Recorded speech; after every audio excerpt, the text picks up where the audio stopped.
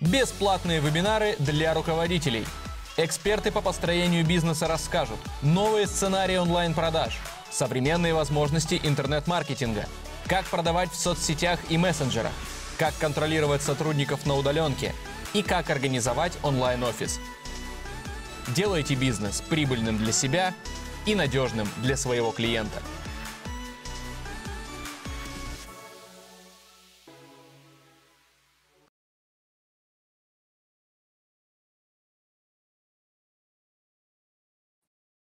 Всех приветствую. У нас есть звук, у нас есть свет. Я надеюсь, что это все правда. А, если со звуком и светом все окей, то есть меня видно и слышно, да, можно вижу уже в сообщении в чатике. Да, спасибо большое, что вы активны. Всех приветствую. Это серия вебинаров компании 1С Bittrex. Мы рассказываем про бизнесовые истории, говорим про разные аспекты. Сегодня у нас тема, связанная с репутацией и продажами. Продажи в основном перекочевали в сеть, мы очень много продаем там. Есть риски того, что в ближайшее время снова будет какой-то вариант локдауна, когда пешеходный трафик в офлайн точке снова очень сильно сократится. Он и сейчас не очень большой, если честно, если сравнивать с периодом до пандемии. Поэтому мы, конечно, говорим про онлайн, и репутация в сети выходит, ну, прям на очень существенно. Если не сказать на первое место, то на очень существенно. Про это сегодня будем говорить. Немножко орг-моментов с самого начала. Меня зовут Михаил Беляев, я буду с вами ближайшие полтора часа. У нас сегодня будет не один спикер, будет два спикера. Я представлю нашего первого спикера, первого участника через минутку буквально. Значит, полтора часа примерно вебинар будет разбит на две части. Мы поговорим в первой про репутацию, как она строится в сети, как ее видит клиент со своей стороны, и что можете вы как бизнес с ней сделать. Это первый момент. Второй момент, мы поговорим про то, каким образом эта репутация, вот созданная в сети, не теряется дальше. Когда вы выходите уже непосредственно в коммуникацию с клиентом, в продажу, что сделать с тем, чтобы клиент остался с вами и все было окей, как по первому впечатлению визуально в сети, так и потом по работе с вами. И каким образом в этом CRM Bittrex 24 помогает. Вот две таких части. Если у вас есть продукт Bittrex24, вы им пользуетесь, и у вас накопились вопросы, один, несколько, совершенно спокойно, задавайте их прямо в чат, вот он э, не то чтобы специально для этого, но в том числе для этого нужен. Пожалуйста, вопросы и к спикеру, и к продуктам Bittrex24 можно прямо в чат бросать. С нами сегодня три опытных интегратора компаний, которые работают с продуктами Bittrex24 и помогают клиентам установить системы, настроить системы и работать с ними комфортно. Компания Technocom21, компания Business Driver и компания Первая IT. Они у нас в чате тоже есть, поэтому вопросы по B24 смело бросайте, и коллеги будут по ходу отвечать. Вопросы к спикерам тоже бросайте, мы будем оставлять время в конце презентации для того, чтобы на эти вопросы ответить. Последний организационный момент. Запись будет, в записи нельзя задать вопросы, но если вдруг у вас что-то со связью, с коннектом, то можно будет попозже пересмотреть. Мы все презентации и запись отдадим участникам на их почту, поэтому за это совершенно спокойно ну, можете не волноваться, будьте совершенно спокойны. Итак, мы переходим непосредственно к вебинару. Мы говорим в первой части, как я уже анонсировал, про репутацию, про то, каким образом она строится, мониторится и что с ней делать в сети. И мы специально пригласили руководителя проекта «Руки» компания InGate Екатерину Хиндиканин. Екатерина, присоединяйтесь к нам. У Екатерины есть очень классная информация, статистическая информация и информация экспертная что сделать для того, чтобы внутри, в сети, вернее, все было окей, все хорошо. Добрый день, коллеги. Как слышно, видно? Екатерина, приветствую. Я вижу и слышу. Коллеги, нарисуйте что-нибудь в чатике нам. Так, есть плюс. Говорят, что видно. И я передаю вам слово. Рассказывать я буду поблизости, но видео пока выключу. Угу. Итак, а, начнем с блока, который касается работы с репутацией. Представлюсь, меня зовут а, Хиндиканина Екатерина, я являюсь руководителем проекта «Руки» компании Engate. А, последнее время плотно работаем над разными каналами привлечения клиентов из интернета, в том числе над работой с репутацией. О ней сегодня и поговорим. А конкретно то, о чем сегодня будет рассказ. Первое – это важная цифра репутации и ее влияние на прибыль. Как видит а, клиент бизнес своими глазами? Как отзывы и рейтинги помогают усилить другие каналы? Пять способов не продать клиенту касаемо репутации. Как создать положительную репутацию бренда на рынке? Рассмотрим стратегию «Не переусердствуй», ответим на вопрос, зачем мне отзывы и рейтинги, если нет сайта, И когда будут первые результаты, если вы только начали работать с репутацией. Для начала давайте познакомимся с вами. Давайте э, в чате поставьте плюсы те, кто сейчас уже работают с репутацией, и минус те, кто не работают на настоящий момент, но хотят это сделать. Угу. Угу. А, расскажу о том а, немножечко, почему сейчас репутация стала максимально актуальной для бизнеса разного размера. Раньше говорили о том, что работа с репутацией – это в основном для бизнесов, которые уже а, достаточно крупные и могут как бы себе позволить, потому что работа с репутацией, как правило, это дорогая работа, это постоянная работа. Но сейчас мир немножечко поменялся в этом году особенно, и репутация стала, заняла одну из э, лидирующих позиций, а, то это именно то, что влияет на ваши конечные продажи и усиляет другие каналы.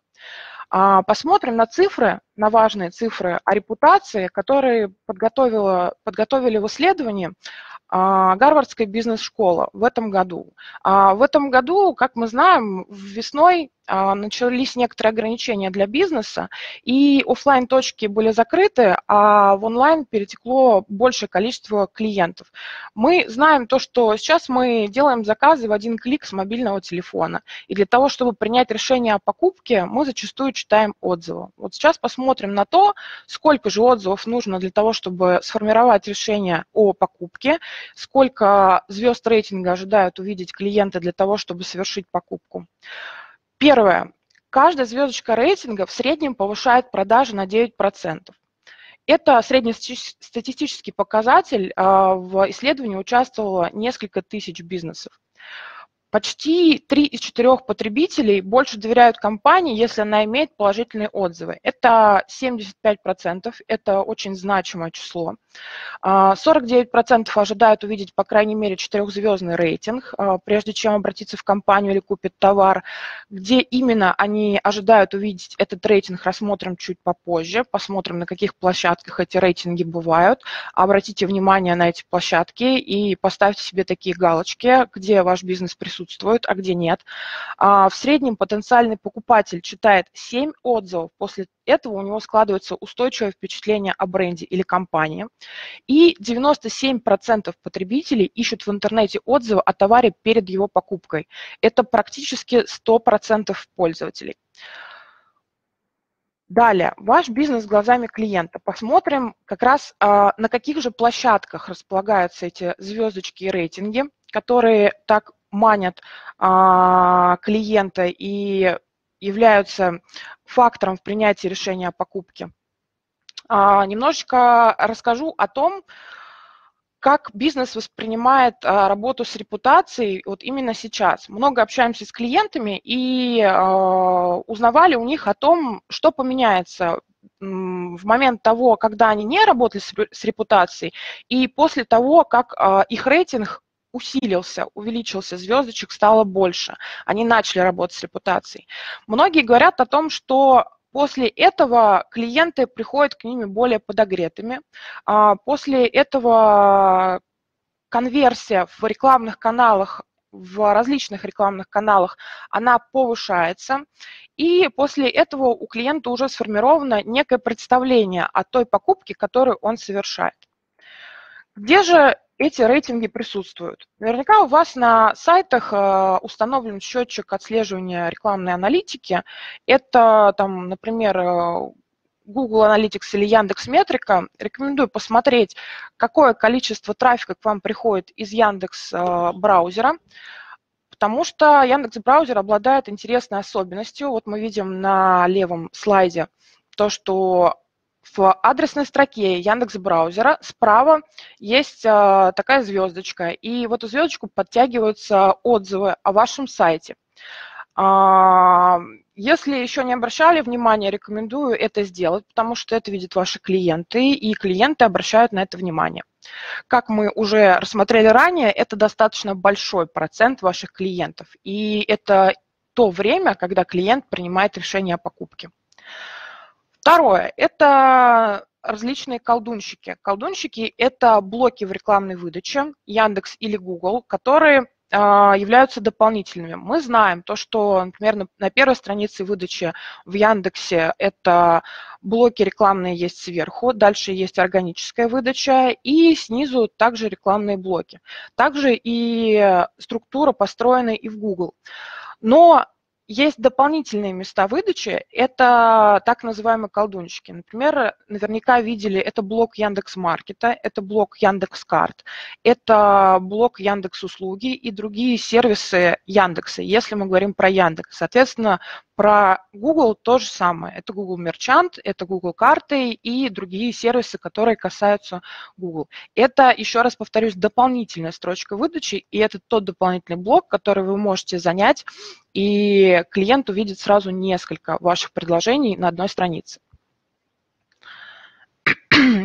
Далее, где видит а, еще рейтинг?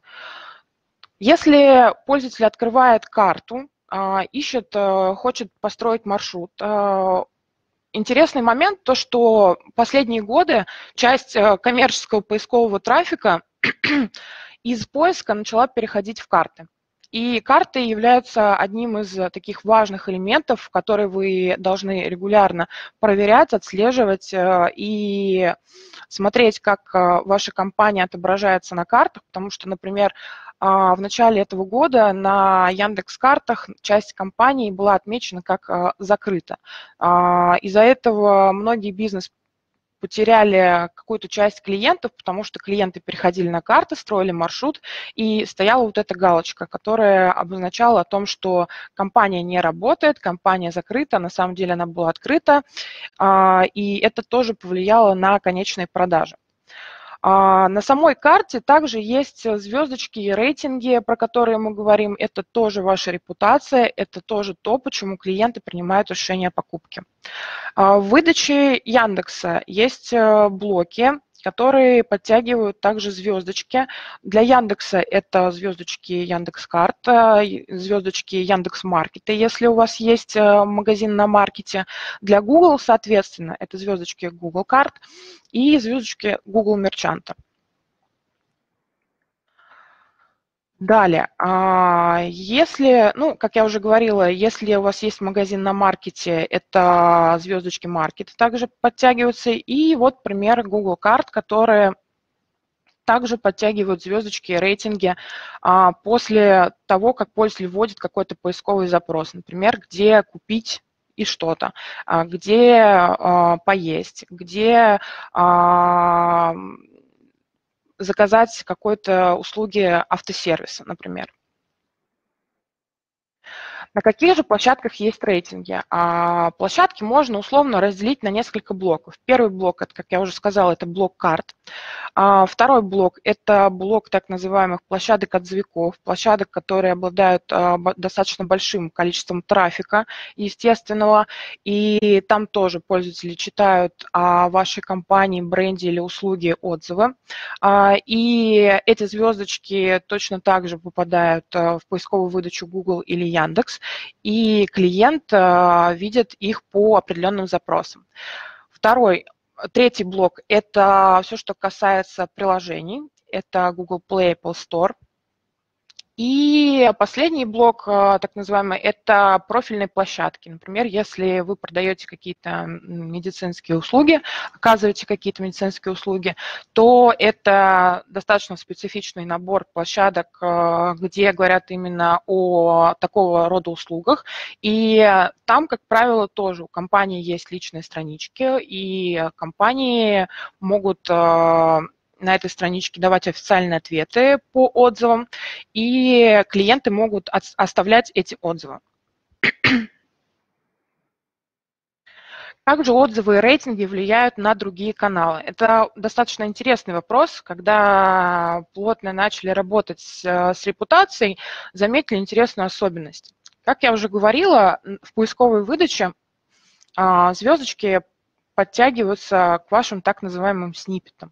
И это могут быть звездочки магазина на маркете, на Google Merchant, либо звездочки а, отзывиков, звездочки карт, ну и всевозможные другие рейтинги, про которые я говорила ранее. А, если пользователь ищет естественный какой-то запрос, например, там купить окна в Москве, он сразу видит несколько компаний, которые отображаются у него на там, первой странице поисковой выдачи. У этих компаний разное количество звезд. Как мы уже говорили ранее, а, клиент перед покупкой ожидает увидеть минимум 4 звезды рейтинга для того, чтобы принять решение о покупке. Обратите на это внимание, пробежитесь по своим коммерческим запросам, по которым вы продвигаетесь, а, и посмотрите, сколько же звездочек рейтинга у вашей компании. Некоторые, вот а, тут интересный пример, некоторые компании делают такие лайфхаки и добавляют символы звездочки для того, чтобы для усиления этого эффекта. И второй пример – это вот как раз магазин на маркете, тоже коммерческий запрос, это рекламный блок. А, увеличивается CTR рекламы благодаря этому, соответственно, вы тратите меньше денег и получаете больше результата за те же деньги, если ваш рейтинг достаточно высокий. И поговорим о пяти способах не продать клиенту. Первый способ – это при работе с репутацией перестараться. О чем я говорю? А если у вас не было ни одного отзыва, а потом их стало 200 за неделю, это выглядит неестественно. Золотое правило работы с репутацией – это естественная работа и регулярная.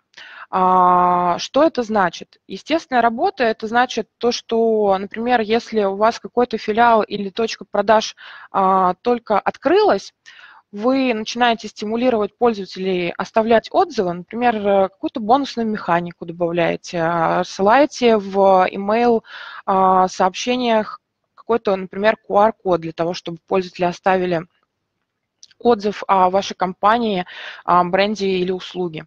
И после этого иногда возникает такой некий взрыв отзывов на ваших площадках, это выглядит максимально неестественно, потому что если вдруг а, в октябре у вас было 0 отзывов, а в ноябре их появится 200, то у тех, кто будет эти отзывы читать, ну, а, будут какие-то подозрения по этому поводу. Поэтому, если только начинаете работать с репутацией, начинайте плавно и постепенно. Далее наращивайте этот темп, увеличивайте количество площадок, на которых присутствует ваша компания, и тогда добьетесь максимальных успехов. Второе, это если ваш бизнес подразумевает нечастые сделки, количество отзывов должно быть сопоставимо с количеством клиентов. Сейчас будет немножечко утрированный пример, но достаточно показательный. Если вы, например, продаете ракеты, то если э, у вас э, количество отзывов, например, на карточке Яндекс.Карт, оно какое-то запредельное, например, 50 э, или там 200 а, в месяц, то это тоже вызовет подозрение у клиентов, которые будут собираться оформить с вами сделку. Третье, если работаете над репутацией, работа должна быть регулярной. Это тоже говорим о, о естественности, потому что многие компании начинают э, это делать, потом в какой-то момент успокаиваются и говорят, все, а, рейтинг у меня отличный, все хорошо, пока больше не буду стимулировать э, пользователей оставлять отзывы, давать им за это какие-то бонус-коды, подарки, буду а, работать с тем рейтингом, который есть. А потом клиенты переходят к ним на карточки и видят то, что, например, до этого каждый месяц было оставлено клиентами по там 10-15 отзывов или там 50-60, а в последние месяцы ноль или один. Это тоже вызовет некие подозрения, и поэтому я говорю о том, что работа с репутацией должна быть регулярной. Второй способ не продать клиенту – игнорировать отзывы. А, как э, мы знаем, Яндекс и Google – это такие большие компании, которые не любят раскрывать свои алгоритмы. Но на основании неких исследований удалось э, определить показатели, которые влияют на конечный рейтинг вашей площадки. Например, там на рейтинг Яндекс.Карт. А, это одни, одним из этих показателей важных является то, насколько Яндекс и Google видят а, живость вашей компании. То есть то, что информация на ней актуальна, то, что вы отвечаете своим клиентам, то, что вам это не безразлично, и каждый отзыв находит ответ, официальный ответ. Это касается не только Яндекса и Google, это касается также и других площадок, а, на которых вы можете зарегистрироваться как официальный представитель компании и давать официальные ответы. В большинстве площадок а, такие официальные ответы будут влиять в том числе и на ваш рейтинг. А, а если так немножечко отступить, например, на рейтинг Яндекс и Google влияет более 800 параметров. Это вот такой один блок параметров, который очень важный для того, чтобы а, рейтинг у вас планомерно рос. Тут привела пример, когда был оставлен отзыв 28 октября, и такой вот был официальный ответ. Благодарим за ваш отзыв. Очень важно то, что отвечать нужно абсолютно на все отзывы, будь они положительные, пятизвездочные, четырехзвездочные, и будь они однозвездочные и какие-то отрицательные, негативные моменты, на такие отзывы нужно отвечать э, обязательно, особенно на негативные. Негативные отзывы надо разбирать и э, искать проблему и редактировать свой продукт, как-то дорабатывать таким образом, чтобы новые клиенты в похожую ситуацию не попали. Третье. Не отслеживать упоминания бренда в интернете. К нам приходило много компаний, которые говорили о том, что у нас падают продажи, и после анализа того, почему, что произошло в последнее время, а, много, достаточно большой процент клиентов оказывалась причина в том, что есть какие-то упоминания о бренде или об услуге в интернете, о которых клиент наш не знал, а клиенты клиента знали, то есть видели. И в результате этого падали покупки, падали продажи, и клиент недополучал ту выручку, которую мог бы получить весь этот ну, за весь этот период, который э, он не отслеживал эти отзывы. Поэтому помним, что принимая решение о покупке, клиент в среднем читает 7 отзывов. А если вы не отслеживаете упоминания, вы никогда не узнаете о том, а, почему у вас падают продажи. Это может быть одни, один из факторов, может быть главным фактором того, почему это происходит. Может быть, как раз это происходит из-за отзывов, которые клиенты видят, а вы нет. Четвертое. Не работать над проблемами из негативных отзывов. А, многие говорят о том, что негативные отзывы пишут конкуренты. А, такого не может происходить. Да, если их пишут конкуренты, то это достаточно легко отловить, а, и это нужно делать, обязательно нужно делать.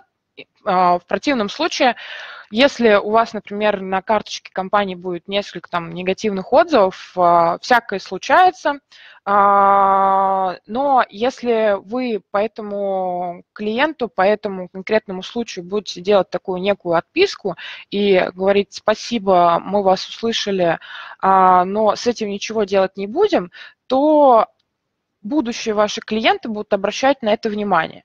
А, используйте это как точку роста. Если вы считаете то, что этот комментарий оставили ваши конкуренты, это всегда можно отловить. Каким образом?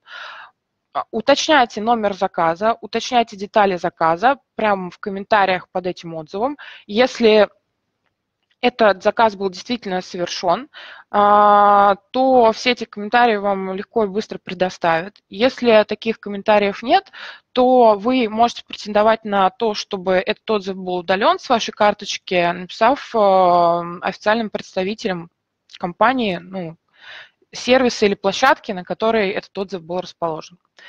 Помните то, что если все-таки случается ситуация, когда э, это действительно был клиент, и у него есть вся, все подтверждающие документы, какие-то скриншоты, чеки покупки, номер заказа, и он описывает достаточно красочно и развернуто свою проблему, э, используйте это как точку роста для своего бизнеса, используйте это в позитивном таком ключе для того, чтобы ваши будущие клиенты на такие проблемы не натыкались уже.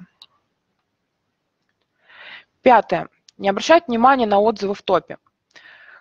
Как и сайты, как и любые сайты, как и любые страницы, отзывы также индексируются поисковыми системами Яндекс и Google. И зачастую и в Яндексе, и в Google по запросам бренд отзывы, например, там а, Яндекс отзывы или отзывы о Яндекс, можно а, найти упоминание а, вверху топа именно в формате отзыва. Это могут быть какие-то площадки Яндекса, а также это могут быть площадки отзывиков, а, какие-либо профильные ресурсы.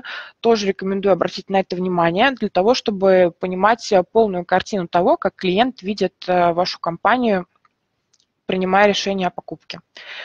А, такие отзывы зачастую а, формируют основное мнение о вашем продукте и бренде, и над выводом а, таких отзывов топ тоже можно работать. Это работа такая же, как и по выводу сайтов топ, а, потому что отзыв, как правило, является отдельной страничкой на каком-то ресурсе, на таком же, на который, с которым вы можете сработать.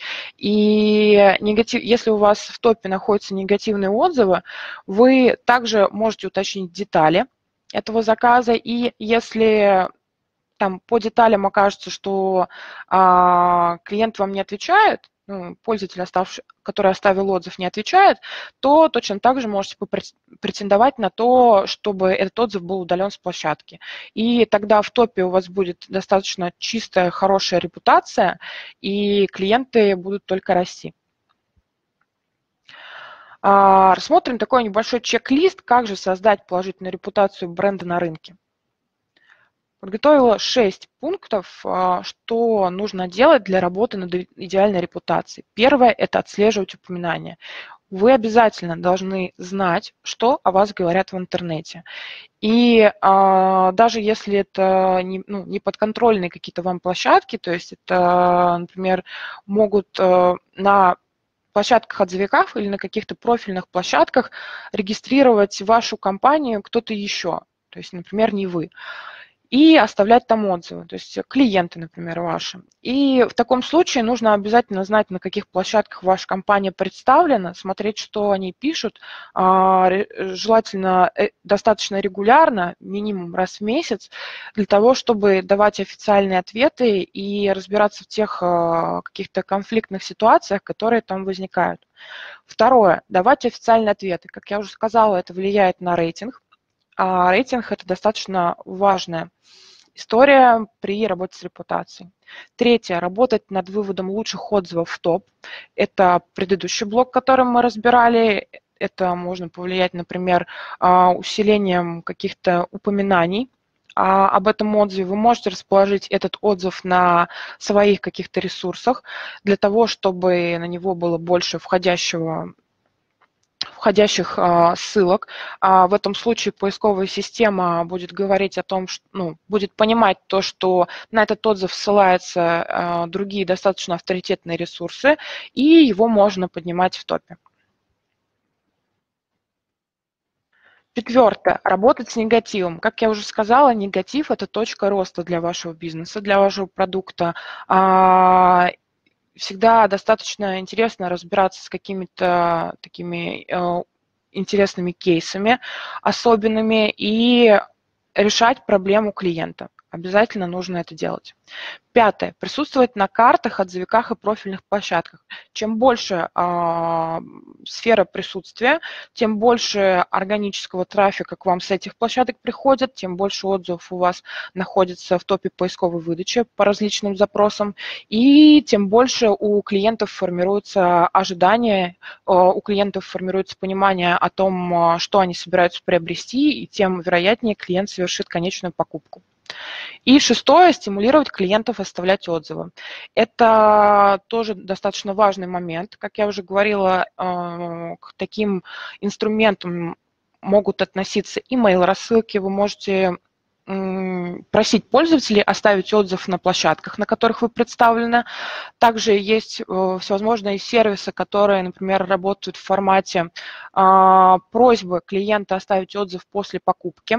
После того, как клиент совершил покупку, ему отправляются какой-то push, какое-то письмо, смс а, с просьбой оставить отзыв, после чего он а, в интерфейсе говорит о том, что я хочу оставить, например, 5 звезд, пишет отзыв, и отзыв транслируется на ту площадку, с которой была совершена покупка. Кроме этого, есть интересный функционал, когда клиенты оставляют, например, однозвездочные отзывы, такая э, история может не идти напрямую на ту площадку, с которой был, э, была совершена покупка. Такая история может уже э, приходить к вам на, для того, чтобы вы с этим клиентом ситуацию более предметно разобрали, решили э, проблему, и клиент ушел от вас довольным. Еще раз берем один вопрос. Зачем мне отзывы, если нет сайта? А, многие задаются таким вопросом, но репутация, она же не только в интернете. А, это во-первых. Во-вторых, если у вас нет сайта, это не значит то, что в интернете нет упоминания о вашей офлайн какой-то точке продаж. Вот. А отзывы не всегда пишут о сайтах. Это может быть отзыв об услуге, бренде или конкретном товаре.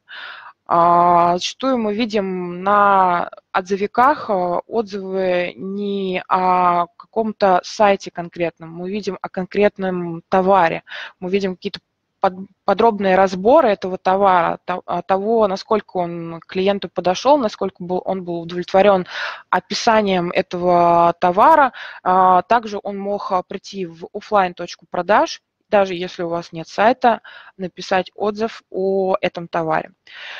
У вас может не быть сайта, но в интернете отзывы вас все равно оставляют. Да, это так, как я уже сказала. Третье. Если на картах можно найти вашу офлайн точку продаж, для нее могут быть оставлены отзывы. Да, если у вас нет сайта, то э, по вашему физическому адресу, где вы находитесь физически, ваша точка продаж, э, посмотрите в Яндекс, в Google, в Тугис, э, есть ли карточка вашей организации. Повторюсь, что ее могли заводить в том числе не вы. Э, и после этого посмотрите, какие там последние отзывы, какие рейтинги у этих карточек, и сформируйте такое понимание о том, какая на настоящий момент э, репутация у вашего бизнеса в интернете.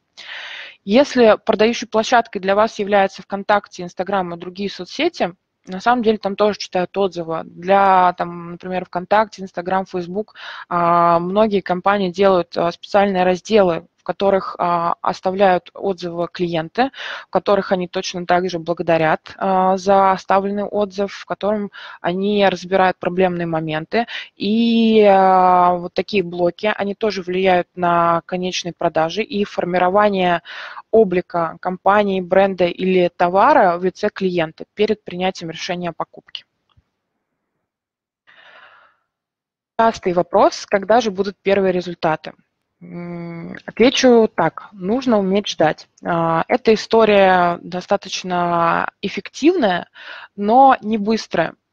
А, как я уже сказала, у Яндекса, у Google, например, это достаточно сложные системы, и э, такие игроки рынка, которые подходят э, к пониманию рейтинга очень осознанно и очень скрупулезно, у них э, для того, чтобы рассчитать рейтинг, рейтинг компании, по разным площадкам, то есть карты, услуги, маркет, у них используется более 800 параметров.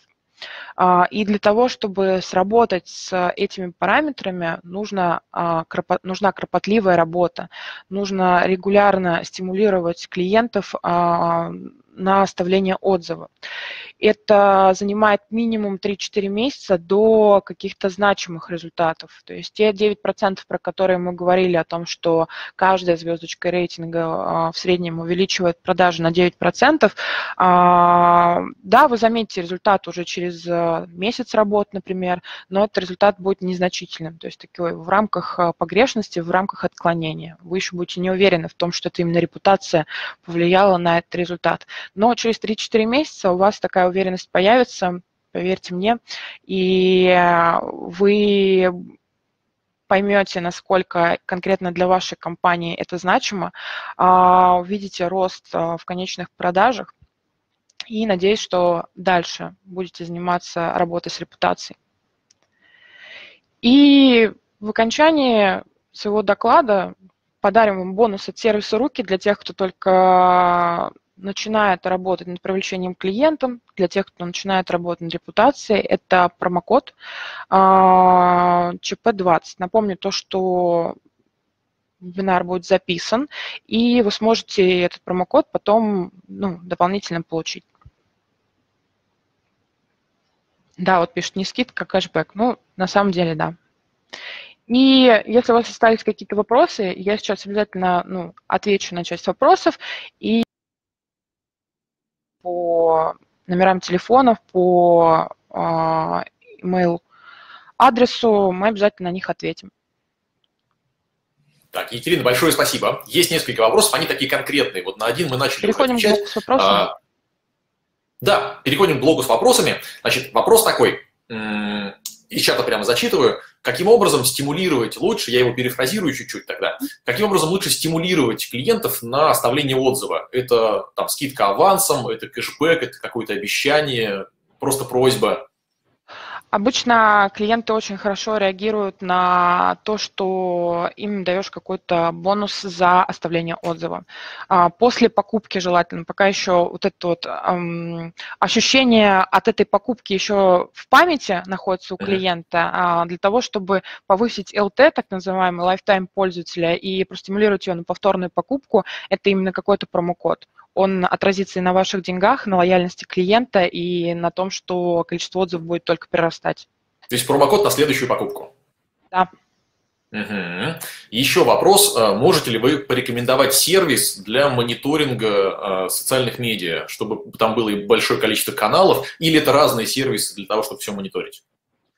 А, достаточно много таких сервисов бывает. У меня на ум сейчас приходит, это, например, сервис Repometer.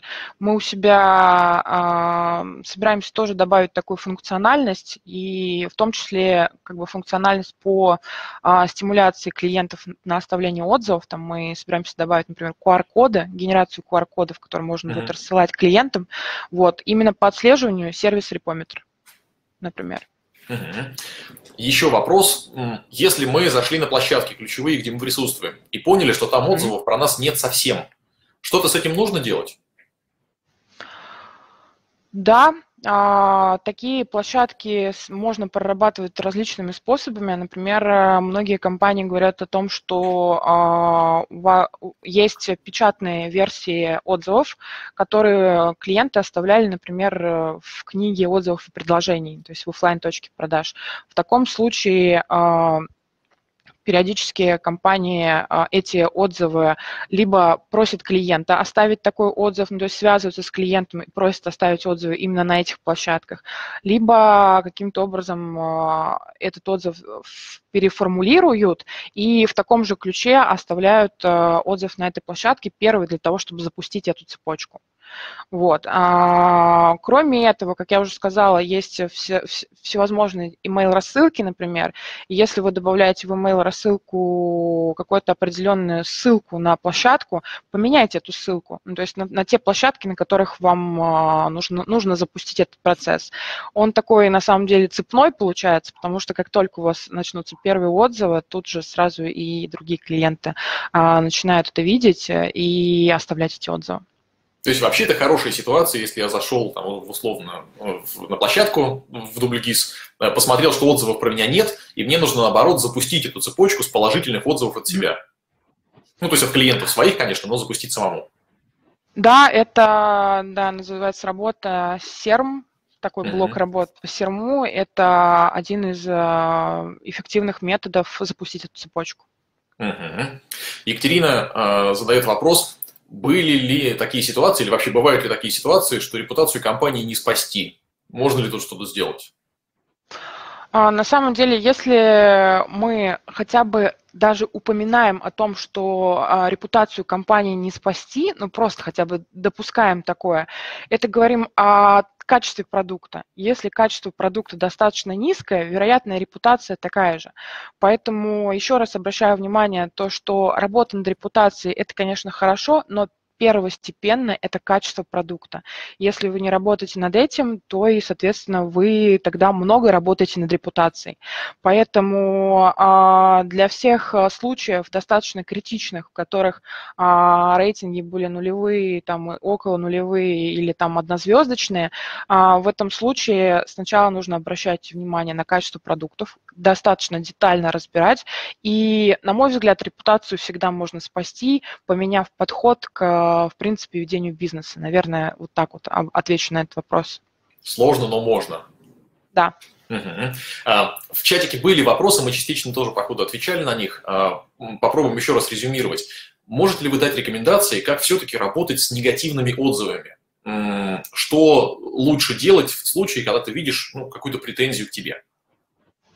А, есть а, несколько вариантов работы с негативом. А, негатив можно разделить тоже на несколько таких крупных блоков. Первый – это негатив, который достаточно давно уже висит где-то в топе поисковой выдачи о вашей компании. Это, там, например, 2-3 года. Он вам мешает продажам, но там площадка его не удаляет, и вы от этого страдаете. В таком случае есть э, такой механизм, как удаления таких отзывов по истечению времени.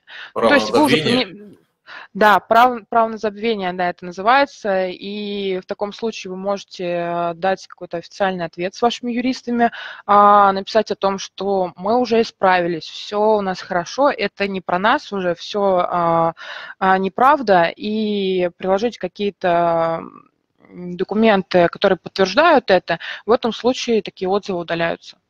Это первое.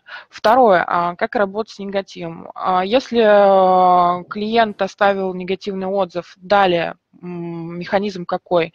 Мы спрашиваем у него, уточняем детали заказа. Если детали заказа уточнены, а, мы разбираем этот кейс. Как-то клиенту сообщаем о том, что да, мы действительно были неправы, извиняемся за сложившуюся ситуацию и в дальнейшем предлагаем ему как-то эту ситуацию разрешить. То есть это всевозможные э, методы работы с лояльностью аудитории. Это точно так же подарок на покупку, какой-то, может быть, э, просто подарок, если ситуация прямо из ряда вон выходящая.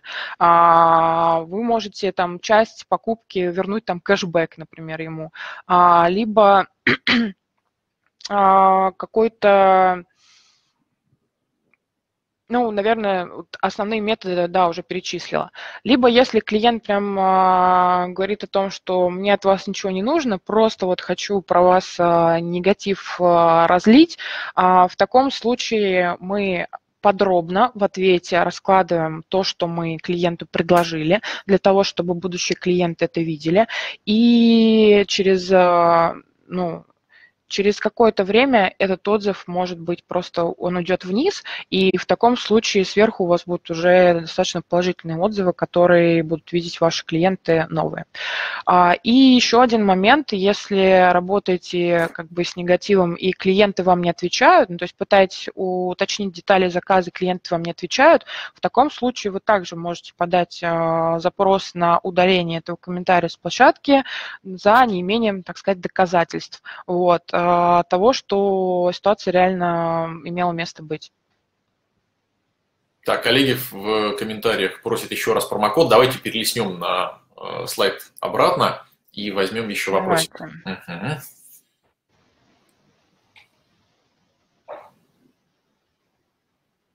Так, вот промокод можно его посмотреть. А, и вопрос тогда ближе к финалу уже про небольшой бизнес. Вот кажется, что это очень большая работа, работа с репутацией. Нужно mm-hmm. мониторить площадки, нужно отвечать на каждый отзыв. Если их много, то это такая регулярная работа, уточнять детали, идти в продукт, улучшать его потом. А, насколько это, во-первых, необходимо, а во-вторых, посильно небольшому бизнесу? А, первый вопрос, насколько это необходимо? А, скажу так, без этого можно, если вы например, только начинаете работать, ну, то есть если бизнес совсем молодой, без этого можно обойтись. А, но как только вы переступаете планку там а, полгода бизнесу а, минимум, то в этом случае уже работа над репутацией обязательно, на мой взгляд. Потому, почему? Потому что кроме всего прочего, у вас появляются уже первые клиенты, которые сформировали какое-то мнение о том, чтобы что представляет из себя ваш продукт. Они этим мнением должны делиться, и вы должны их этому стимулировать для того, чтобы бизнес ваш только развивался и новые клиенты приходили. Это так называемые, ну, если с другой стороны посмотреть, это так называемые кейсы, которые очень часто используют в маркетинге для того, чтобы а, показывать успех, историю успеха. Вы этих клиентов можете также с отзывов как-то с ними связываться, более развернутый кейс простраивать с ним и уже транслировать это как рекламный материал, например. И это приведет вам новых клиентов. Ну, то есть это можно рассматривать совершенно по-разному, и считаю, что это достаточно необходимая работа. А если отвечать на вопрос, насколько это посильно малому бизнесу, а, можно охватывать не все такие этапы работы над работы с репутацией, ну, наверняка у вас и количество этих э, отзывов на площадках будет не очень большое. То есть вам э, можно будет раз в месяц заходить на такие площадки,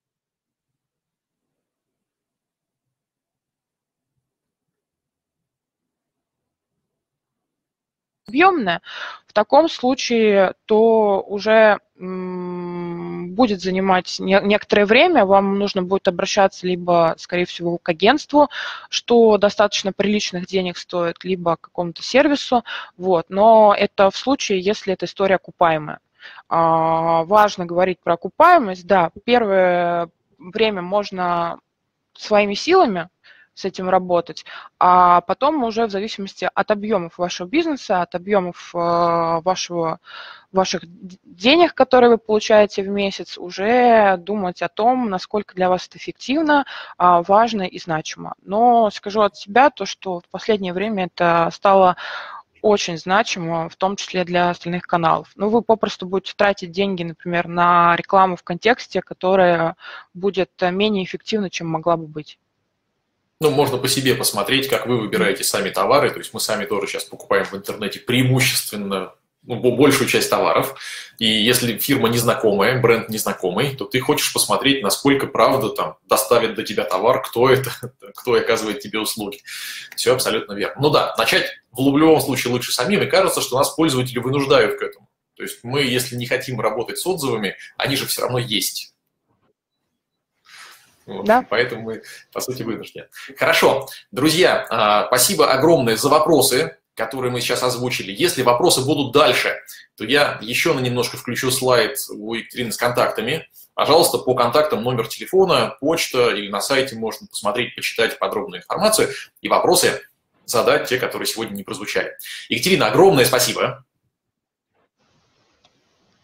А, спасибо за то, что провели с нами это время. Да, со мной это время, надеюсь, доклад был достаточно интересным, будет полезным, и ваши продажи будут только расти, и рейтинги только увеличиваться. Спасибо большое. Счастливо. Вы пишете, что доклад полезный и здорово. Значит, мы, повторюсь, с записью все решим все будем. Сейчас мы переходим ко второй части. А, во второй части мы говорим про CRM-систему, говорим про то, каким образом люди, пришедшие к вам из разных каналов, мы сейчас посмотрели, что они есть действительно в разных каналах, а, они почитали о вас отзывы, допустим, там все классно, они ожидают, что все будет хорошо и дальше. Вот тот процесс, который от момента обращения к вам и дальше до момента повторной покупки, следующих покупок, мы посмотрим, как CRM помогает этим работать. Я поговорю про пять блоков а, таких основных блоков, которые связаны с репутацией, с ожиданиями клиента и как с ними работать. Ну и поговорю про инструменты CRM, которые в этом будут подсказкой и помощью вам. Ну, первое, наверное, и самое главное, о чем хочется поговорить, не испортите впечатление. Если у вас классные отзывы, вы с этим поработали, или просто у вас классный продукт, и пользователи делятся позитивным отношением к вам, вот как у меня здорово все получилось, посмотрите, идут и оставляют отзывы. Позитивом делится, конечно же, намного меньше, чем негативом, но предположим, что все так. Во-первых, нужно быстро отвечать во-вторых, отвечать всегда. Если вам написали в нерабочее время, нет требования ответить прямо через две минуты, если вам в 2 часа ночи пришло сообщение. Но все равно есть ожидания, есть требования, чтобы не оставить без ответа входящее обращение абсолютно любое. Ну и если это рабочее время, то, конечно, отвечайте достаточно быстро. Сейчас про это немножко поговорим. А, Будьте всегда на связи, это вот тот тезис, про, на котором хочется остановиться еще раз. Мы говорили, что количество каналов, которые сейчас есть для работы с нашей аудиторией, оно не то чтобы уменьшается, а на самом деле увеличивается. Потому что есть классические каналы, к которым мы привыкли. Мы привыкли, что на сайте есть телефон, есть электронная почта, по которым можно написать. Есть каналы, которые добавляются постоянно, социальные сети, которых там ни одна, ни две получается, и клиенты находятся там, и мы тоже вынуждены как бизнес присутствовать в этих социальных сетях и давать ответы. А, есть мессенджеры, там, каналы в мессенджерах, в которых тоже пользователи могут искать и ожидать, им там удобно достаточно общаться, и мы тоже как бизнес идем в эти каналы. Поэтому из разных источников к нам могут прилетать такие заявки, и, конечно, наша задача все эти заявки собрать, во-первых, не потерять ни одну, и, во-вторых, достаточно оперативно на них отреагировать. Внутри Bittrex24 есть такой раздел, который называется «Контакт-центр». Это вот тот а, ну, наверное, хаб, такая точка, в которую стекаются из разных каналов все обращения. Вы можете подключить телефонию, почту, социальные сети, мессенджеры и мониторить все, что есть. Можете поставить виджет на свой сайт, в котором будет обратный звонок, чат с онлайн-консультантом или возможность там, заполнить форму, получить ответ потом на почту, а можно э, показать там иконки разных мессенджеров для того, чтобы диалог такой начать. Мы все эти каналы подключаем, конечно же, к себе, там, где мы присутствуем, и сделаем так, чтобы все эти заявки стекались к нам. Соответственно, они приходят к нам внутрь CRM-системы, и внутри CRM-системы они формируются в отдельные либо лиды, либо сделки, которые мы видим. Мы их не пропускаем. Когда вы начинаете вот такое подключение, если вы через этот процесс еще не проходили, то, а, подключая разные каналы, вы обнаруживаете, что часть заявок до этого терялась. Так происходит с телефонией, когда вы переходили с классической на IP-телефонию, например, люди звонят вам в нерабочее время, вы не знаете, что они вам звонили. Ну, просто вы не берете трубку, а берете только когда человек в офисе присутствует. Либо вы не понимаете, что после рекламных кампаний количество обращений или количество звонков там такое, что там одна линия телефонная или две телефонные линии просто э, не выдерживают нагрузку. Вам звонят одновременно несколько человек, а телефонная линия может взять только одну э, одного человека, один звонок. Поэтому, конечно, IP-телефония в этом смысле показала нам, я думаю, что давно показала, как именно работает вот такая система. То же самое происходит и с другими каналами. Люди пишут к нам в чат, люди пишут к нам в социальные сети. Если у вас есть группа ВКонтакте, в которую вы тысячу лет не заходили, то туда могут написать ваши клиенты. И если вы не отвечаете, то ощущение у клиента какое? Ну, компания мертвая, по сути, да, вот есть группа, она не поддерживается, значит, и компании, возможно, нет. Помните, раньше мы говорили, что если у компании нет сайта, то ее, возможно, и нет, если ее компания нет в интернете. Теперь мы можем говорить, что если компания не присутствует в какой-то социальной сети, то у пользователя может сложиться точно такое же ощущение. Теперь про формат скорости ответа. А, у меня будет к вам сейчас небольшая просьба поделиться в чатике своими а, внутренними ощущениями и стандартами, про что я сейчас говорю. Скажите, пожалуйста, если к вам написали в чат в какой-то социальной сети, насколько быстро необходимо ответить? Пришла какая-то заявка, прям в любой категории, там, в секундах, в минутах, в часах, как вам удобно, как у вас внутри в компании принято. Как быстро нужно ответить? Одна минута, 15-20 минут, максимум 2-3 я вижу. Два часа. Угу.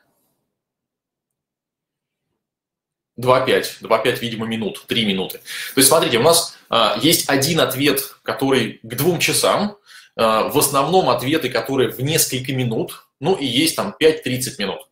А, есть коммент про зависит от сферы, абсолютно я с вами согласен, зависит от сферы, от времени суток, все совершенно верно. А, если вы в а, чат пишете сообщение, то, скорее всего, ваши пользователи, ну, на самом деле, можно у них спросить. Или просто вы примерно представляете свою аудиторию, насколько э, люди ждут реакции, или насколько они не дожидаются вашего ответа.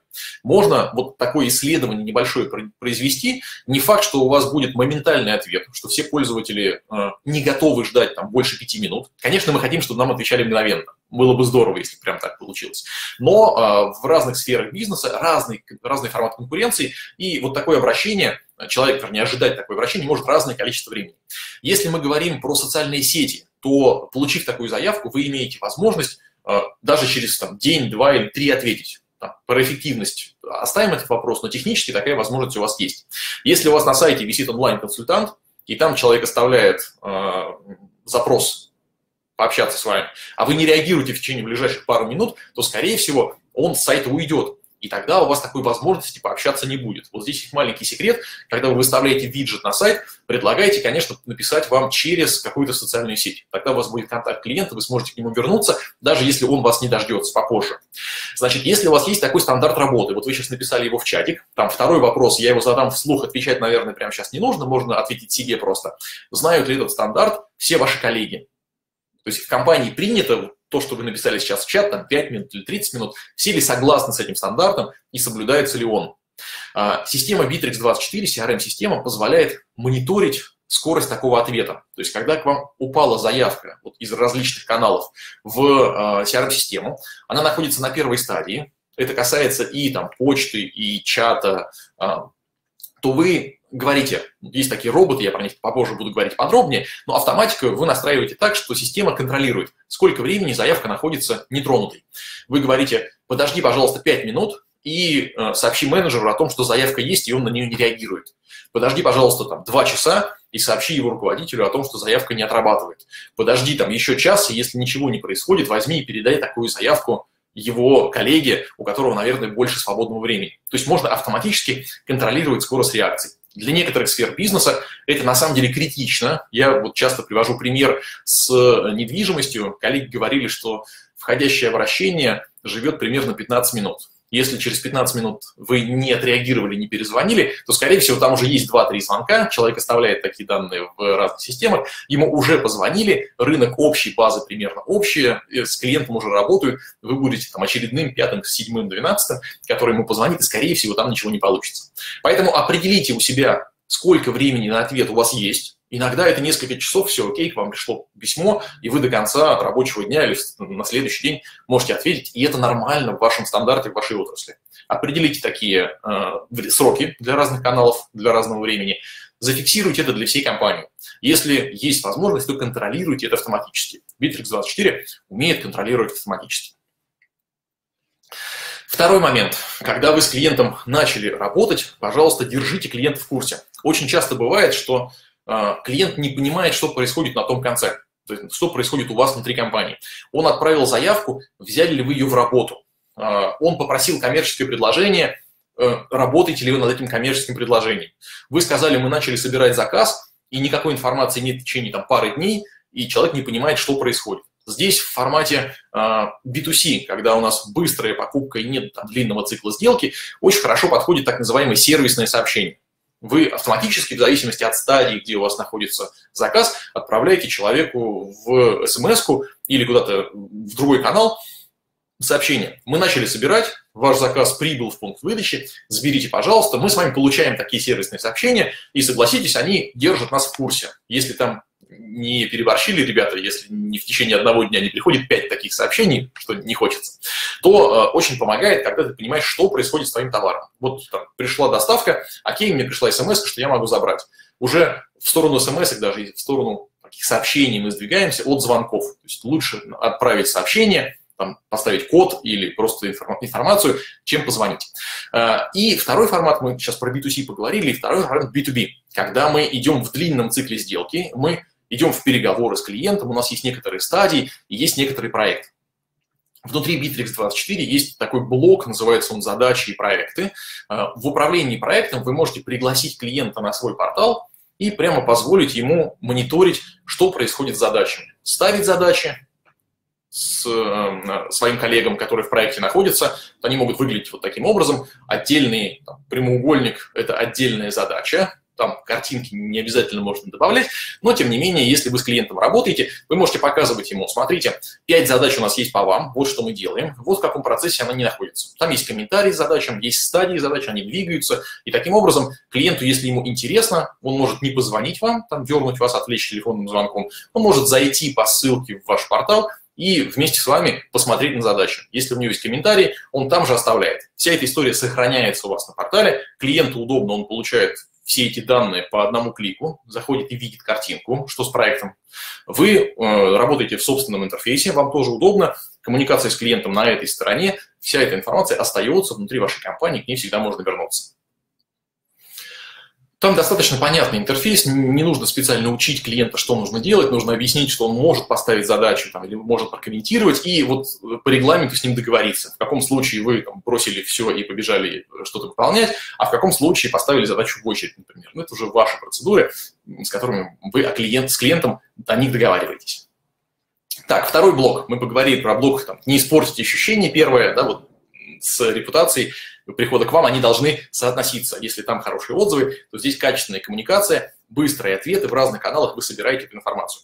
Второй блок, ну, качество самой коммуникации. То есть мы отвечаем быстро, мы отвечаем во всех каналах, но как? Что мы делаем? Значит, мы контролируем коммуникацию, мы контролируем различные каналы, немножко об этом поговорили, мы контролируем различные стадии, на каждой стадии, на входящем обращении, на а, выполнении заказа, на коммуникации уточнили мы все и провели ли клиента правильно по воронке. И мы уточняем, ну, что клиент слышит от нас, как мы говорим с ним, как мы говорим с ним голосом, как мы говорим с ним текстом.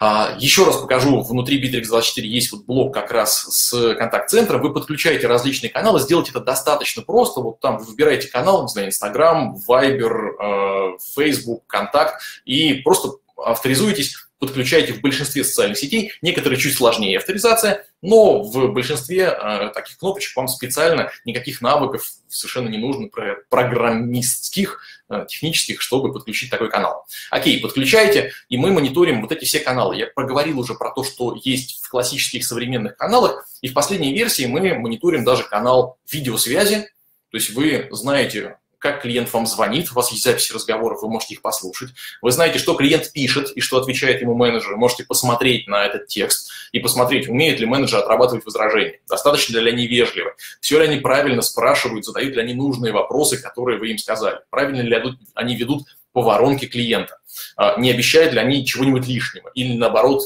ну, там, может быть, есть акции, про которые они сейчас не говорят. Это все можно послушать.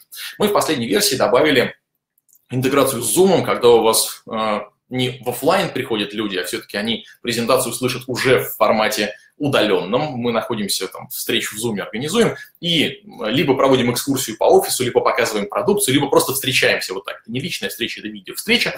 Пожалуйста, можно сохранить такую запись у себя внутри CRM-системы и посмотреть ее тоже насколько менеджер в видеоформате, ну, все те же самые стадии проходит. Отрабатывает возражения, доброжелателен, вежлив, задает вопросы, ну, делает ли все правильно, как вы его попросили. Пожалуйста, так можно сделать. Следите за стандартами. Что это за стандарты? Это текстовые стандарты, мы сейчас только что про них поговорили. Спрашивать то, что нужно. И это стандарты введения сделок. Во многих бизнесах очень критично, если стадии несколько, как клиент должен прийти. Например, клиент там, покупает кухню.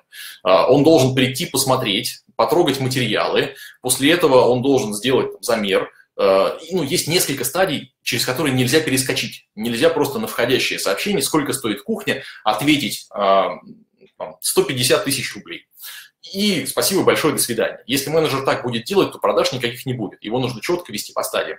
Поэтому, конечно, все эти стадии мы заранее выставляем. Мы как владельцы бизнеса, как люди, которые с этим бизнесом не первый день, знаем, что зачем должно идти. Вот технологический процесс, понимаем.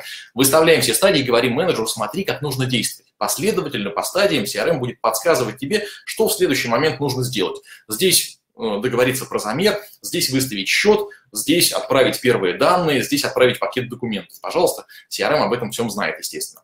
А, ну и внутри, в карточке CRM-системы, вы все четко видите, в правой части у вас ключевые данные. Даже если у вас менеджер заболел один, его подхватил, э, клиента подхватил коллега, он открывает карточку, и там все понятно. В левой части этой карточки ключевые данные, кто клиент, какая сделка, это вы сами определяете, какие данные ключевые для вас. В правой части мы называем это таймлайн, то есть хронология всей коммуникации с клиентом. Когда он позвонил, вот она запись звонка, когда с ним встречались, какое коммерческое предложение ему выслали, какие документы были внутри сделки, чем менялись, что обсудили, какие скидки пообещали. Это все можно достаточно легко сделать. Есть очень полезное свойство, которое называется э, обязательные свойства. Они могут быть привязаны к стадиям. Э, какой-нибудь пример сейчас с вами придумаем. Например, для того, чтобы сделать коммерческое предложение, нужно знать объем продаж компании или оборот компании, и нужно уточнить, из какой она отрасли. Вот без этих двух параметров не сделать хорошего коммерческого предложения, потому что, например, там должны быть кейсы или там должны быть отсылки к каким-нибудь связям, интеграциям, чему-то еще. А, мы можем голосом сказать менеджеру, пожалуйста, уточняй это. Но не всегда это получается, он тут, тут забыл, тут не уточнил, и может либо придумать для коммерческого предложения, либо просто блок из коммерческого убрать и отправить в таком виде, в половинчатом. Не очень эффективное коммерческое предложение получается. Мы можем сказать, пожалуйста, вот на этой стадии ты не можешь двинуться дальше, пока ты не заполнил два ключевых поля. Первый – оборот компании, второй – отрасль компании. Вот если ты их заполняешь, нормально можешь перейти на следующую стадию. И вот такие обязательные стадии могут быть на входе в сделку, нужно уточнить про клиента первичные данные, могут появляться в середине или в конце сделки. Вы их настраиваете и гарантируете, что менеджер точно идет по нужным стадиям и уточняет нужную информацию. Эта информация нужна вот в этой конкретной сделке, чтобы, например, сделать коммерческое предложение. Либо она нужна вам в дальнейшем для того, чтобы с этим клиентом работать. Вы потом будете делать срез по отраслям и работать с ними дальше с существующей своей базой. Это важно, и технически это достаточно просто сделать. Конечно, когда мы говорим «контролируйте», мы имеем возможность контролировать сами качество коммуникации. То есть мы взяли, послушали звонок, мы открыли запись зума и посмотрели видео, и оценили менеджера. Сказали, вот здесь у тебя получается здорово, здесь не очень, давай я тебе подскажу, как лучше ну, те же возражения преодолевать. Вот что на это возражение лучше ответить ты вот так среагировал, а можно сделать еще по-другому. Такое мини-обучение провели. А можно э, автоматически запрашивать у клиентов обратную связь. В чате, в телефонном звонке вы можете автоматом попросить оценить работу с конкретным менеджером. Особенно это актуально не на продаже, когда вы позвонили и какую-то продажу совершаете, актуально на обращении потом в поддержку вы позвонили для того, чтобы уточнить какую-то информацию, позвонили с претензией, позвонили решить вопрос или написали в чат, и, пожалуйста, здесь можно оценить качество коммуникации, насколько корректно все было. Это в статистику попадает, вы потом в статистике можете посмотреть, какая общая удовлетворенность клиентов от ответов по всем менеджерам или по конкретному менеджеру. То есть это можно делать автоматом. Конечно же, на основании этих данных вы идете не в наказание сотрудников, сейчас мы там палкой всех разгоняем, вы идете в обучение сотрудников. Обучение сотрудников – процесс регулярный, я уверен, что в каком-то формате оно у вас присутствует, либо в ну, таком интуитивном формате, либо есть внутри правила, курсы и регламенты зафиксированы. Давайте мы еще с вами немножко поменяемся обратной связью. Скажите, пожалуйста, э, поставьте цифру 1, у кого обучение интуитивное, мол, вот Сергей, он тебе все расскажет, а у кого есть э, написанные готовые регламенты, и мы новому сотруднику говорим, познакомься, пожалуйста, с регламентами, и потом мы экзамен у тебя примем. Цифра 2, у кого есть регламенты, правила, экзамены. Цифра 1, у кого такое интуитивное обучение. Посмотрите, что происходит. Вижу пока единицы. Разбавьте, разбавьте, друзья. Двойку, да, спасибо большое. Аккаунт с названием сервис ставит цифру 2. Все вроде бы логично, да. Хорошо. Вообще никакого обучения, пишет Татьяна. Татьяна, кажется, что не, вообще никакого обучения ну, невозможно. То есть человек все равно должен узнать какую-то, какую-то информацию. Что у вас за продукт? То есть иди на сайт, посмотри, чем мы торгуем, что мы продаем, какая у нас услуга или какой у нас продукт. А, кому мне звонить? ну вот сидит рядом Светлана, спросил у Светланы, как можно что-нибудь сделать. Да, вижу, друзья, цифры. А, смотрите, в любом случае такое обучение есть. И лучше, конечно, возглавить и контролировать этот процесс. Давайте я вам подскажу два простых инструмента, которые могут совершенно спокойно у вас работать. Первое. Внутри Bittrex24 есть такой раздел, называется он «База знаний». А, потратьте какое-то количество времени и сформируйте такую базу знаний там, первую базу знаний, что мы продаем, и расскажите правильно, красивыми словами, адекватными, которые можно потом транслировать клиенту, какой продукт или какую услугу вы разрабатываете, продаете, делаете, и чем эта услуга прекрасная. Вот просто в тезисах на одну страничку вы лендинг рисуете, а, сделайте такие базовые заготовки. Добавьте картиночек, добавьте текста для того, чтобы человек сразу же быстро понял. Мы не просто э, делаем там пластиковые окна, а мы помогаем людям сейчас, сейчас сложно мне сформулировать да, миссию и бренд компании, но сделать это красиво так, как вы бы рассказывали клиентам, потому что менеджеры, скорее всего, будут общаться не так, как вы. Значит, это первый момент. Второй момент, такая база знаний очень хорошо работает на продажу то есть на механизмы и алгоритмы продажи. И вы опишите. Продажа в нашей компании осуществляется следующим образом. Там есть входящий трафик, есть исходящий трафик. Вот так мы общаемся здесь, так мы общаемся там. Правила такие. Если что-то возникает, а, вопрос, нужно пойти э, в э, там, этот отдел. Если такой вопрос возникает, нужно уточнить у этого коллеги. И вот все эти регламенты внутри, они несложные, они э, те, которые вы обычно голосом проговариваете, но это сильно сократит время для вхождения менеджера по продажам, вхождение в курс дела и в нужный курс дела, да, в который вы говорите. Эта база знаний есть, конечно, на мобильном телефоне, можно ее с мобильного почитать. Портал доступен с iOS, Android. Можно почитать ее здесь. И второй момент, который хорошо помогает, это чаты. Если у вас несколько человек, которые занимаются продажами или производством, или еще чем-то, их можно объединить в чат, когда человек, новый человек, не знает, как поступить в конкретной ситуации, он в чат пишет там, друзья, помогите, не понимая вот здесь. И ему сами коллеги, сообщество помогают. То есть это не всегда, а, ну, раньше можно было а, подружиться за чаем с кем-то из коллег и спрашивать все время у него, а, а теперь можно работать и в удаленном формате точно так же. Поэтому, да, рекомендую. Чаты работают очень здорово, особенно если у вас такая корпоративная культура внутри дружелюбная, то есть не каждый сам за себя, а друг другу помогают, то чаты здорово спасают и вводят в курс дела, помогают новичкам хорошо начать. Так, блок третий. А, системно собирайте отзывы. Екатерина говорила много про отзывы, и я прям рекомендую вам этот э, процесс. В чем сложность такого процесса? Его сложно сделать регулярно. Вот сейчас вы послушали вебинар, и с завтрашнего дня или сегодня прямо решите сделать точно. Я пойду на эти площадки, посмотрю, что про нас пишут. А потом у меня есть клиент, который может оставить отзыв, и я этот отзыв опубликую и вы это сделаете. Но это нужно делать регулярно и системно. Поэтому сейчас я покажу тоже инструменты внутри Bittrex24, которые помогут вам в этом. Вот три пункта, которые в этом блоке, по каким хотелось пройти. Это, во-первых, собирайте по всем сделкам такую обратную связь. Меняйтесь по негативным отзывам и размещайте, публикуйте положительные отзывы. Мы зеркалим с Екатериной друг друга, мыслим, видим в одном ключе. Поэтому смотрите, что это такое. Есть такой параметр, называется он NPS. Э, это Net Promoter Score. Вообще, это простой вопрос, который иногда вы тоже слышите от э, крупных брендов. Они спрашивают, скажите, пожалуйста, порекомендовали ли бы вы работу с нашей компанией своим друзьям? И вы отвечаете по десятибалльной шкале. Я порекомендовал бы с вероятностью там, 1 или с вероятностью 10. Точно порекомендую или никогда не порекомендую. Вот там есть определенный алгоритм, как это делается, как считается, потом как выводится определенный показатель. Но сейчас смысл, наверное, даже не про то. После каждой сделки, когда вы все равно привели, можно автоматически назначить вот такую обратную связь. Когда вы ставите задачу или запускаете новый, новый цикл, новую воронку для а, отдельного сотрудника, например, или по совместительству он чем-то занимается, и он говорит, звонит клиенту или пишет ему и говорит, здравствуйте, я отдел контроля качества, меня зовут Михаил, я бы хотел узнать, как вам работалось с моими коллегами. Тут важный момент, что это не сам человек, который оказывает услугу, звонит, и ему неудобно сказать, что, ну, вы знаете, ну, нормально все было, обычно говорят. Все, спасибо большое. Если там негатива никакого не было, говорят, все окей, спасибо. Обратной связи не получите. А вот если звонит отдел контроля качества, а, то ему говорят больше.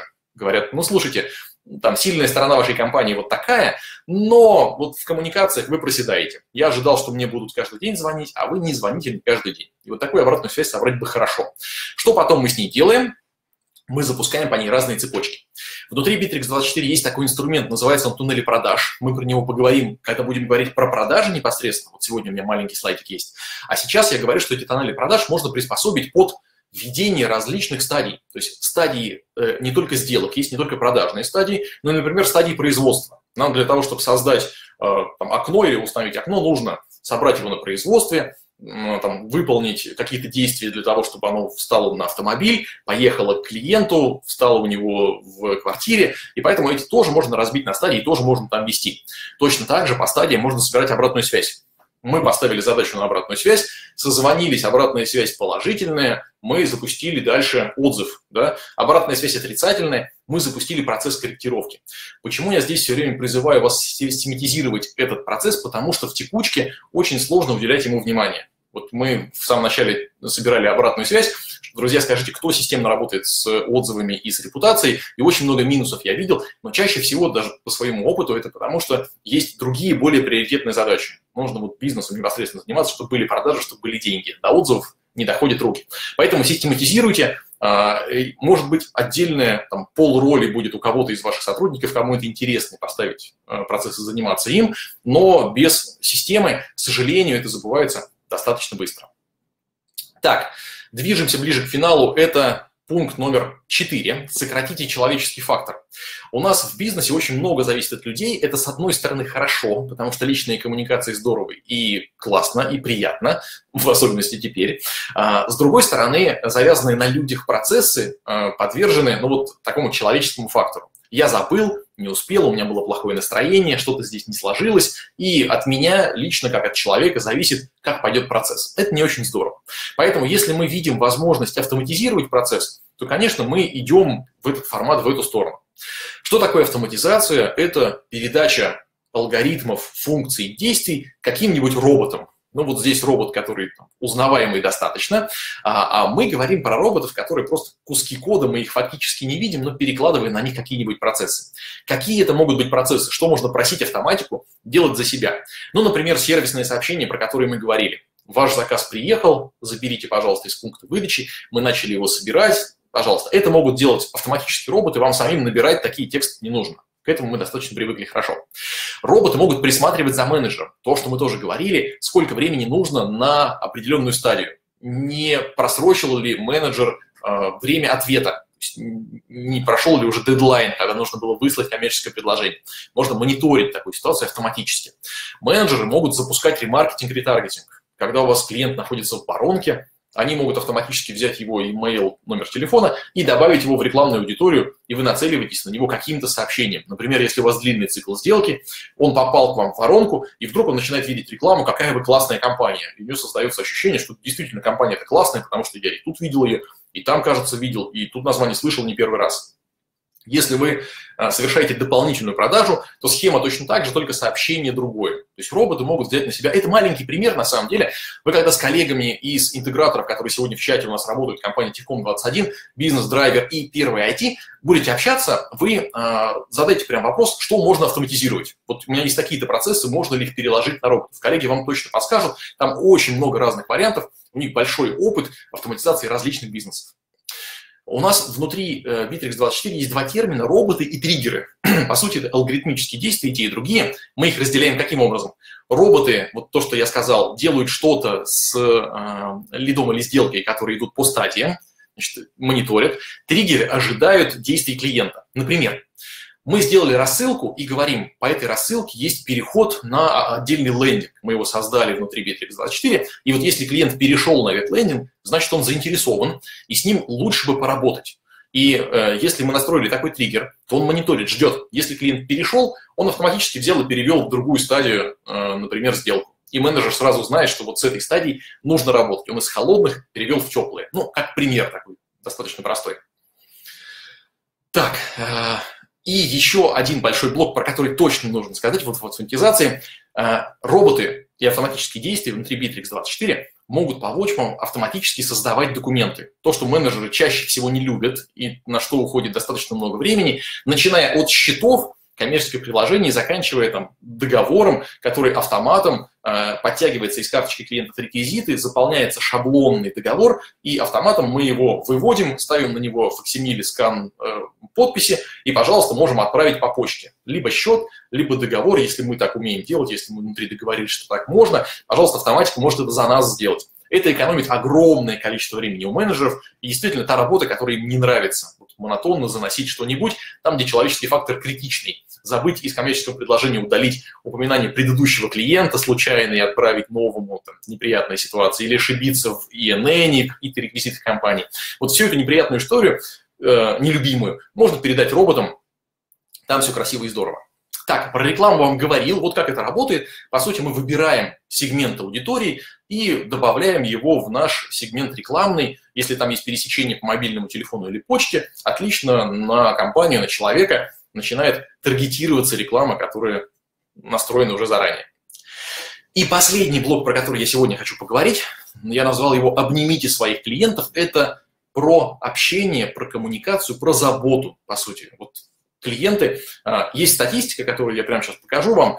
64% компаний, большущий опрос был, он не только российский, он мировой, говорят о том, что мы уходим от какого-то конкретного поставщика не потому, что у него высокие цены, и нам предложили лучше. Так тоже бывает, но там, по-моему, в пределах 12-15% эта группа.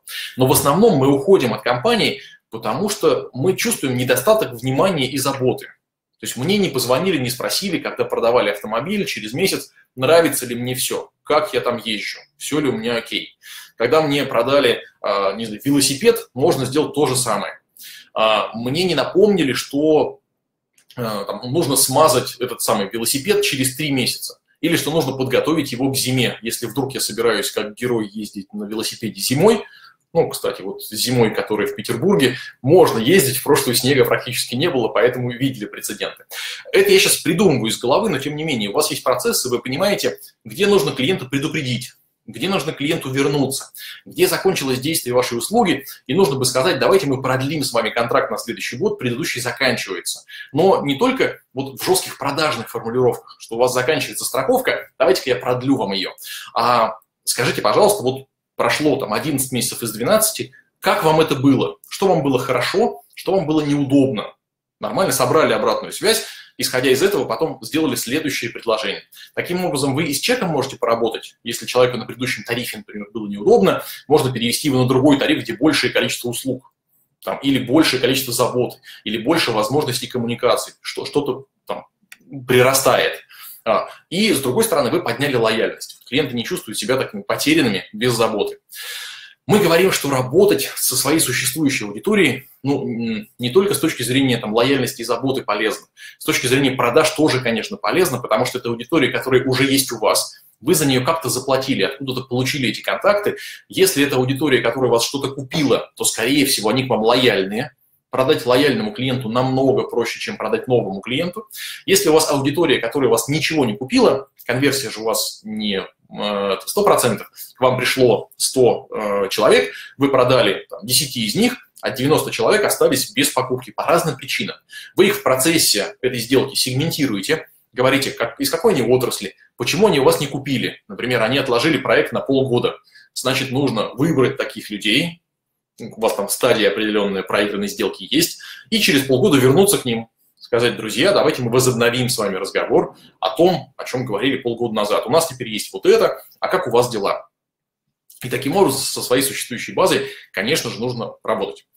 Как работать со своей существующей базой? Нужно заранее подготовиться. Вот три таких шага я определил, они базовые, совершенно простые. Первое, подумайте и создайте критерии, по которым вы будете фильтровать аудиторию. Если вы хотите делить ее по городу, полу, профессиональной деятельности, отрасли, то, пожалуйста, придумайте заранее вот те критерии, которые вам нужно будет уточнить, записать к себе и потом делать такой фильтр. А, здесь предостерегу, что когда вы сядете за эту работу, вам захочется написать 50 критериев, 100 критериев, по которым можно вот по-разному, по-разному фильтровать. Нет, напишите несколько основных, там, до 10 точно, потому что даже 10 уточнить у клиента, с которым идут переговоры, особенно переговоры, которые не привели к успеху, не продали вы ему то, что хотели, 10 критериев уточнить очень сложно. Поэтому базовые, по которым вам нужно будет фильтровать. Определите такие пресеты и цепочки, что вы будете с ними делать? Вот такие, вы их узнаете. Что вы, как вы будете использовать эту информацию? Нужно продумать это заранее, так вам будет понятно, и какие данные собирать, и как называть эти стадии, э, финальные, завершающие, неудачные. А, то есть вы придумаете, что вы с ними потом будете делать. И третье, определите целевой канал коммуникации. Так вы поймете, что у клиента собирать, какие данные. Номер телефона, электронную почту. А, опять же, предостерегу, что не сразу все, там, все 12 параметров, что у него есть, но ключевые определите для себя, потому что вы через эти каналы потом будете отправлять ему письма или звонить, или там, в мессенджере общаться, или приглашать его в какую-то группу. Мы все работаем на LTV, делаем так, чтобы клиент купил у нас не единственный раз, а следующие. И это тоже, конечно, сильно зависит и от репутации, и от алгоритмов. От репутации, помнит ли о вас клиент хорошо. И второе, даже если он вас помнит хорошо, не факт, что когда ему нужна будет следующая услуга, то есть он будет покупать следующий телевизор, он скажет, ах, точно, я пойду вот сюда нужно появиться у него в нужный момент или регулярно появляться, чтобы вы в какой-то нужный момент всплыло сообщение, там, вы прислали ему письмо, у нас э, телевизоры вот в черная пятница скоро наступает. Ух ты, у нас есть такое, такое предложение. Он говорит, я точно них покупал телевизоры, давай посмотрю, вот телевизор, и я себе куплю. Опять же, пример из головы, вы его перекладываете на свой бизнес. Есть такой инструмент, который называется прямо генератор продаж. Вот если про черную пятницу мы начали говорить, мы выбрали всех клиентов, которым мы потенциально можем продать а, там, новую услугу, юридическое сопровождение или ту же технику, все, все что угодно. И э, нацелились на них. Как мы к ним можем прийти? какой канал мы выбрали. Мы можем прийти к ним почтой, можем прийти телефоном, можем добавить их в рекламную аудиторию и им показать рекламное сообщение, что у нас есть акция специальная для того, чтобы они себе приобрели этот волшебный телевизор или что там чем там вы торгуете. Вот, пожалуйста, таким образом можно делать, называется это генератор продаж. Пользуйтесь, пожалуйста. Обещал вам еще в конце сказать про тоннели продаж, которые к продажам относятся, и, конечно, это они. Если у вас есть, ну, вот такой классический пример, вы продаете и технику, и э, обслуживание техники, мы как-то приводили в пример кондиционеры, когда вам нужно продать кондиционер как устройство, это одна воронка. Вам нужно продать обслуживание кондиционера, потом расходные материалы, а через год вернуться и сказать, давайте мы же его почистим, потому что с ним там может быть не все в порядке. Вот это три разные воронки, у них разные стадии, и их можно автоматически завести внутрь Bittrex24, чтобы вы не забыли. Вот мы убираем человеческий фактор и говорим, мы не забудем прийти к этому клиенту через год. И если вы звоните ему через год и говорите, вы знаете, есть вероятность, что в вашем кондиционере завелись какие-то бактерии. Это не очень полезно. Мы приедем за там, сколько-нибудь рублей, почистим вам такой кондиционер, вы будете дышать хорошим, красивым, чистым воздухом. Окей? Да, а заодно мы проверим у вас там, не знаю, давление или что-то там еще. Подумайте про такие процессы у себя, их можно настроить автоматически внутри Bittrex24, вот в тоннелях продаж как раз и к этому инструменту отлично он подходит. Так, у меня финальный слайд. Я сегодня говорил про функционал Bittrex 24. А, и вообще Bittrex 24 такая комплексная система, которая работает с компанией внутри, помогает ей общаться, ставить задачи и работать, и с клиентами снаружи. Мы говорили про CRM-систему. Вообще мы состоим из пяти больших блоков. Это офис, где мы организуем работу команды, общаемся, такой виртуальный офис, если мы сейчас вдруг снова разойдемся по домам. А, блок задачи и проекты. Я немножко говорил про него, про подключение клиентов, но в этом блоке все а, ваши сотрудники работают и отчитываются по задачам. Там все прозрачно, понятно, эффективность повышается. Блок CRM, про него поговорили. Контакт-центр, про него поговорили сегодня. Есть еще один блок, в Bittrex24 можно делать сайты и интернет-магазины. Пожалуйста, торговать в интернете, отправлять ссылку на покупку прямо в чат, принимать оплату в этом чате и завершать, то есть полный цикл э, покупки в B2C можно сделать прямо в чатике, показать товар, принять оплату и в доставку отдать товар. Друзья, у меня все. Если есть вопросы, я сейчас буду подглядывать во вкладку. Так, во вкладке «Ответы», поэтому я иду снова обратно в чат. Если есть вопросы, я могу немножко поотвечать вам на них. Вижу, что коллеги уже поотвечали. Так, окей. Смотрю, что вопросы специфические и, а, наверное, по докладу больше Bittrex 24 коллеги на них отвечают. По докладу вопросов особенно нет. Хорошо. Значит, мы будем завершаться. Вам большое спасибо за то, что вы сегодня были с нами полтора часа. Я очень надеюсь, что вы для себя зафиксировали ну, какие-то ключевые моменты, по которым хочется сделать изменения внутри компании. Соответственно, вы эти моменты записали себе, наверное, где-то на бумажке. Поговорите, пожалуйста, с нашими коллегами-интеграторами, с которыми вы в чате сейчас общаетесь. Вот они придут к вам с вопросом, а, есть ли у вас задачка такая для Bittrex24, и вообще есть ли внутри процессы, которые сейчас в компании не оптимальны. Может ли Bittrex24 повлиять на эти процессы, сделать их проще, лучше, быстрее, там, дешевле для самой компании или эффективнее и внутри, и снаружи. Всем удачи. Я надеюсь, что вы а, услышали ту информацию, которая у вас откликается для изменений, поработать с репутацией, сделать что-нибудь внутри Bittrex24 полезное для своего бизнеса, настроить его лучше или начать им пользоваться. Коллеги вам в этом помогут. Я прощаюсь. Счастливо.